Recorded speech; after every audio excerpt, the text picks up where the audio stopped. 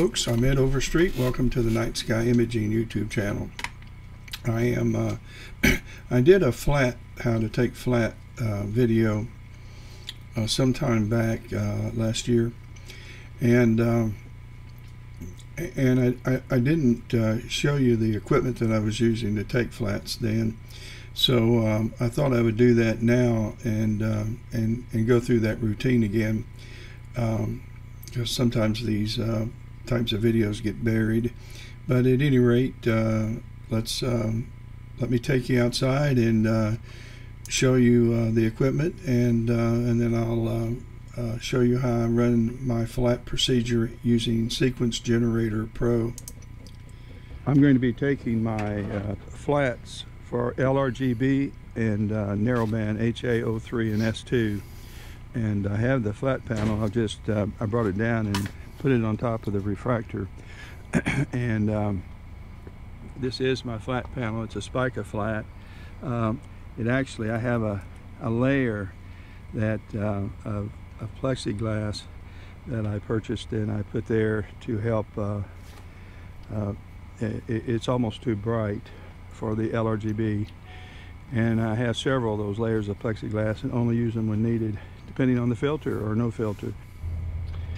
Um, now the Spike-a flat has uh, a controller and the controller obviously is uh, connected to the Spike-a flat and then there's a um, a USB cable that comes out of the uh, uh, controller and plugs into my hub and the hub of course is plugged into the laptop. This is Sequence Generator Pro software and we'll be going upstairs, but I'll be bringing up the uh, uh, Spike-a Flat software and show you how I run my flats. Okay, um, uh, let's head over to uh, Sequence Generator Pro and uh, get that started. Let me find it here. And uh, da, da, da. Okay. Um, I'm going to go ahead and cool my camera.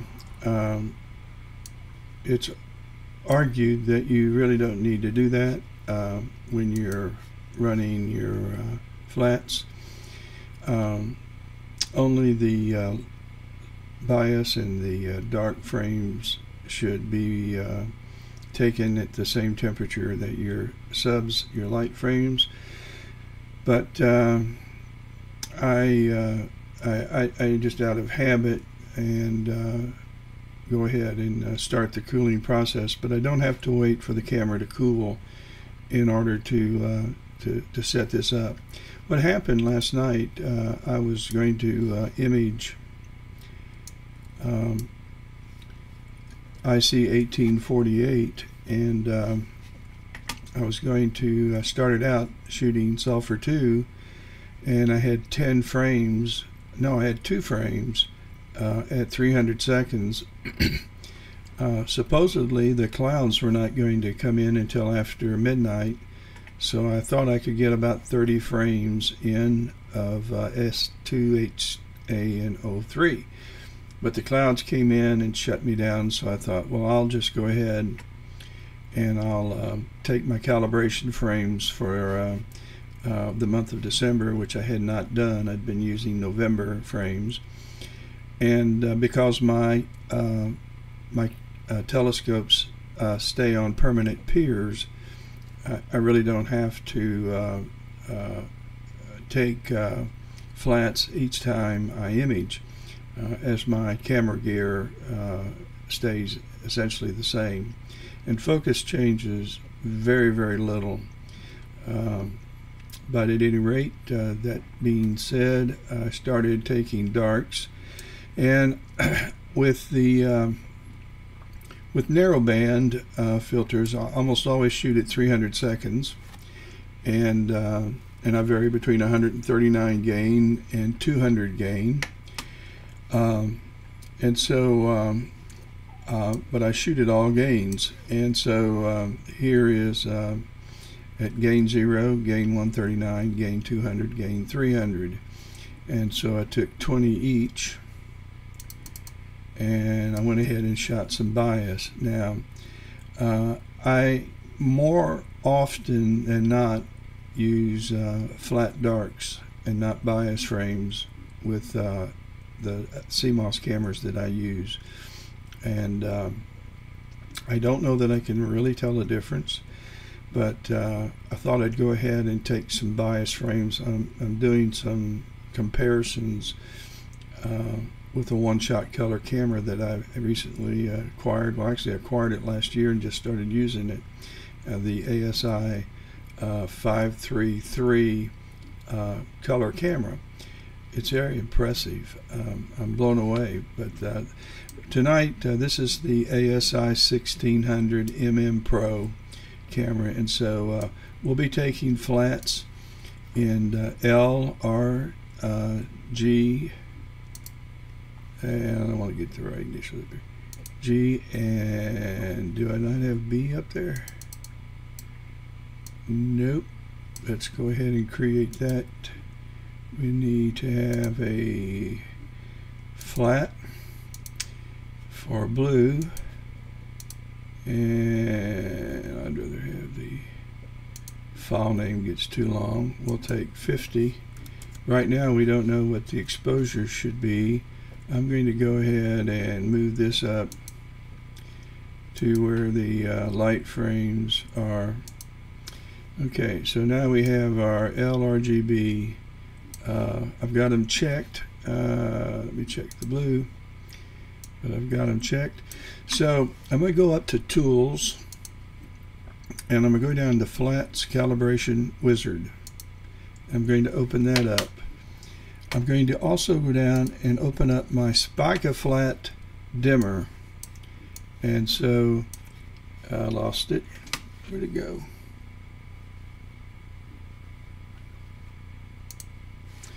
Okay, I want it to be on top. And so keep on the front. All right. And um, this goes from zero luminosity uh, to over a thousand. And uh, with LRGB and with the uh, HA and O3 uh, there's such a uh, a difference in in the bandwidth that I more often than not change the exposure.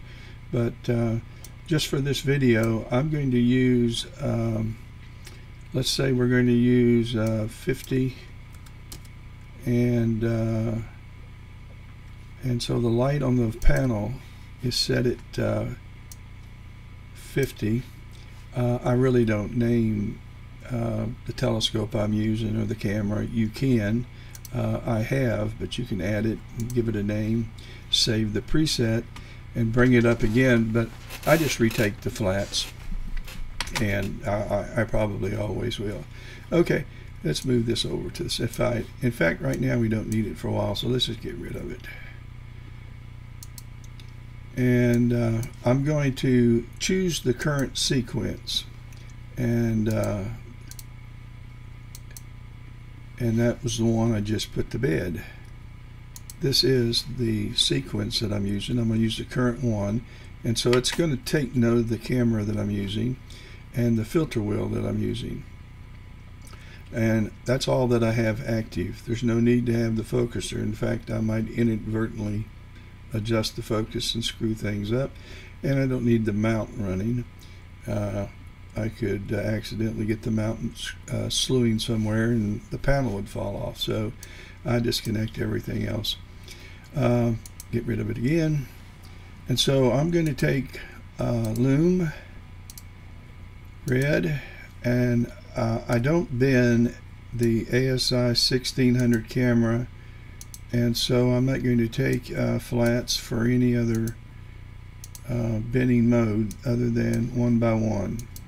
So I'm checking each uh, filter and making that adjustment. Uh, I'm going to use a target ADU of 27,000 uh, I'll have a tolerance of let's say 750 500 is too small. And uh, the minimum exposure, I'll leave at zero. I usually leave the zero at maximum exposure but uh, I do happen to know 1200 seconds is the max maximum. So let's go ahead and run it. And it's going to start taking a picture at various exposures to come up with a um, uh, tell you what, I'm going to go ahead and stop it. And we'll do it again. Because I want the histogram uh, to uh, open so that we can see what the histogram looks like. All right, let's start it again. And it'll take a picture at say five seconds, which will overexpose it, and obviously it does. And now it's going to try. I want it two point. Now it's at point. You can tell down here when it's third attempt, it's 0.35, and it's still overexposed. It's at six seconds, and it's still overexposed.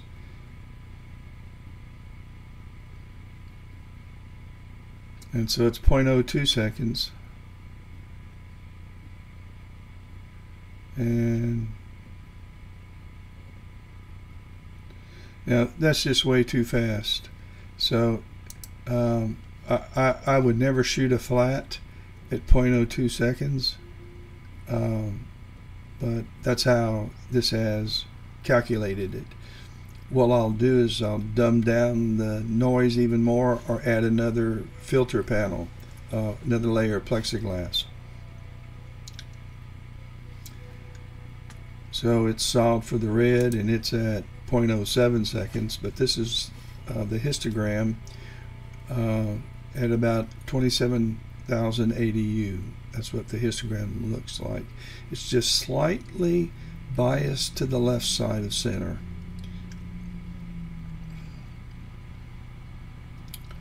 And that's just worked for me with these ASI cameras.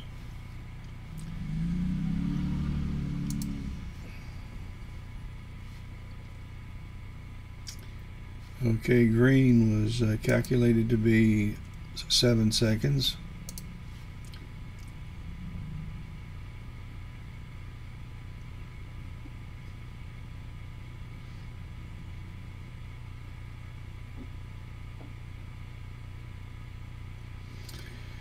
in uh, the real world, uh, I prefer that my flats be taken at at least one second, but two, three, four seconds for LRGB uh, is where I would prefer the flat exposure to be.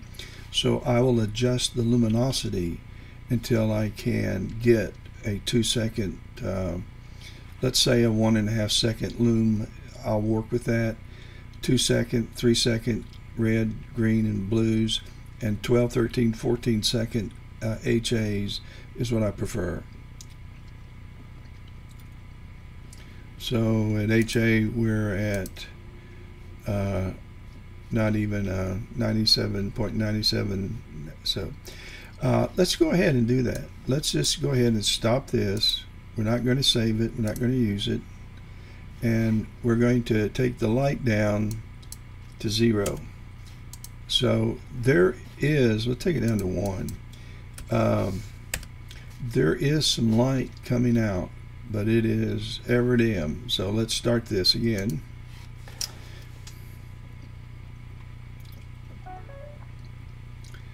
And again, we're going to take an overexposed picture because it's going to assume what the light is and now it knows it's way too bright. Let's move this down so we can see our histogram.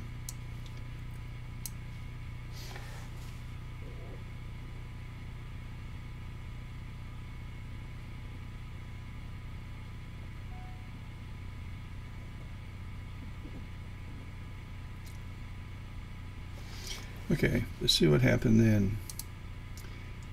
I'm at 0.06. Uh, still, I, I, I don't I don't intend to use these flats. And it will take me a few minutes to uh, take another layer of plexiglass and go out and uh, put it underneath my flat panel but that's what I'm going to do in a few minutes. I want to go ahead and run this routine though and show you how cool it is. So uh, let it run its uh, and, and that's one of the things about the uh, Spike-a panel. Uh, I like the fact I can control it from the inside and uh, remotely, in other words.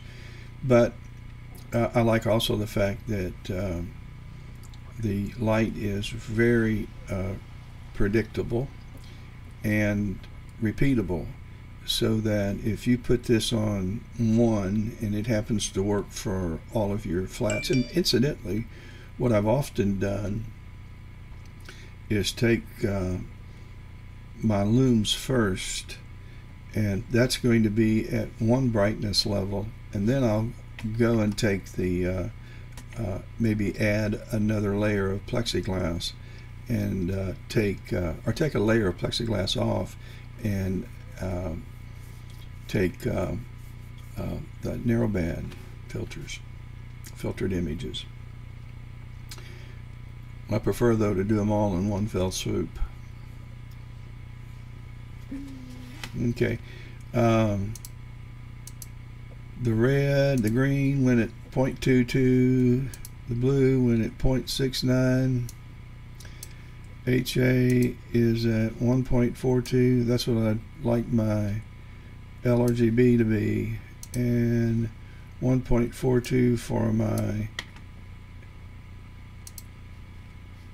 uh, it's still doing 03.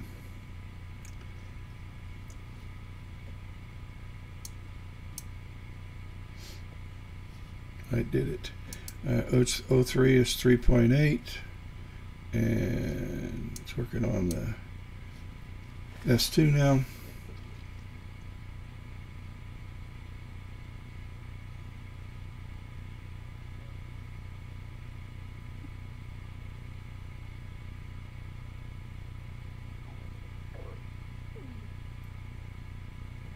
Okay, so what we have is uh, 0.93 for S2, point, uh, 3 point something for uh, oxygen 3.8.